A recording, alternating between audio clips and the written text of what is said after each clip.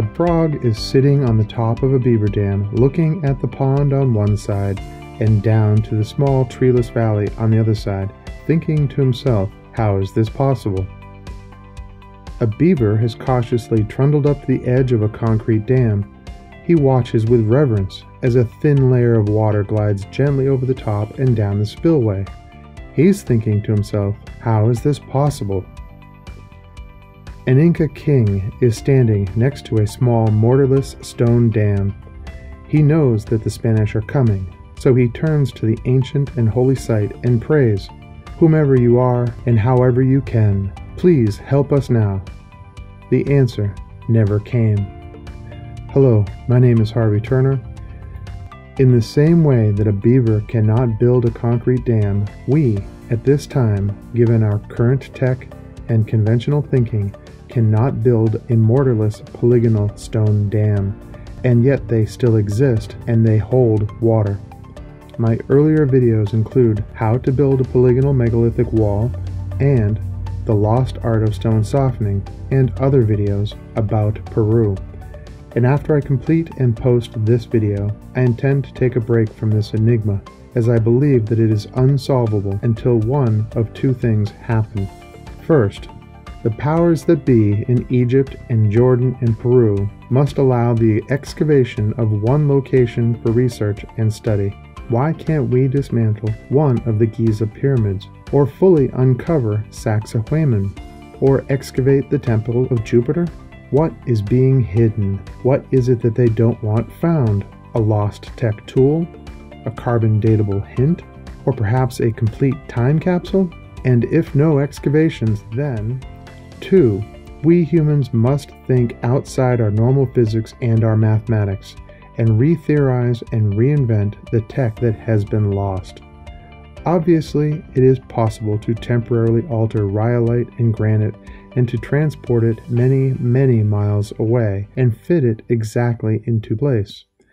Ollantaytambo in Peru is proof of this, as are dozens of other locations in Peru.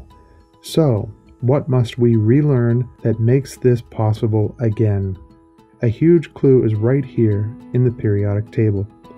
And the math is right here.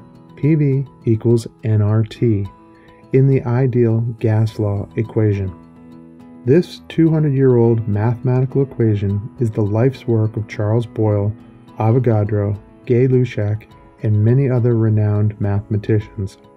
This well known equation has five variables and determines the changing phases of all compounds from solid to liquid to gas, with everything in our world landing in a certain location on this chart at room temperature and at one atmospheric pressure. Pretty simple. Will a rock or a liquid or a gas move in its physical state without an increase in temperature or pressure or volume? No and this is why we cannot comprehend that rhyolite or granite can be softened and molded or cut with a butter knife at room temperature and at 1 atmosphere of pressure. This unwavering equation with its five variables tells us so. But what if there were a sixth variable, placed in a way that would temporarily neutralize the other known variables? Is there a sixth? Yes, let me show you. Thus is derived the valence neutralization theorem. How does this work? Let me give you an analogy. If you have a 5-speed transmission, how many places can you move the stick to while you're rolling down the road? 5?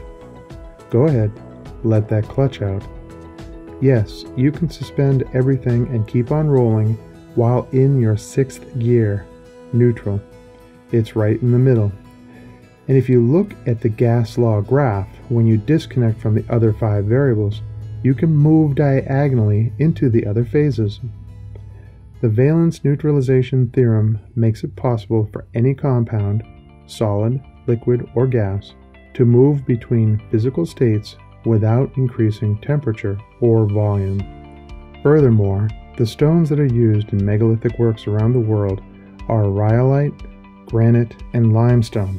These compounds contain the elements of silicon, carbon, calcium, and oxygen. Silicon is the wonder element so highly necessary for the production of electronic components And rhyolite, in fact, is 70% quartz, a compound SiO4 of silicon and oxygen, which, as we know, emits its own consistent frequency. Additionally, their individual elements like silica, calcium, and carbon are all even numbered elements, so they share an even number of valences within their compounds, stable and yet harmonic. Rhyolite and granite, based on their molecular harmonic compounds, would be the easiest and most consistent rocks to neutralize via sonics. I'll let the smartest minds of Stanford, Yale, and MIT work out the details, but this is definitely where we should be looking. And now for the largest benefit to the valence neutralization theorem. The neutralization of atomic structure of any compound would not only affect how that compound's structure adheres to itself, but also its natural attraction to the largest mass of all. Yes, if a compound's atomic structure was temporarily neutralized, it would also become temporarily weightless.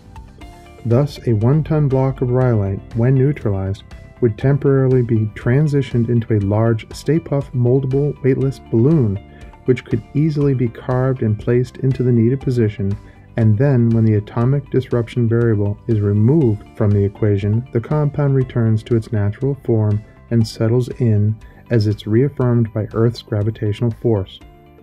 If the attachment point is not cleaned off immediately before the stone hardens, it will leave a nub.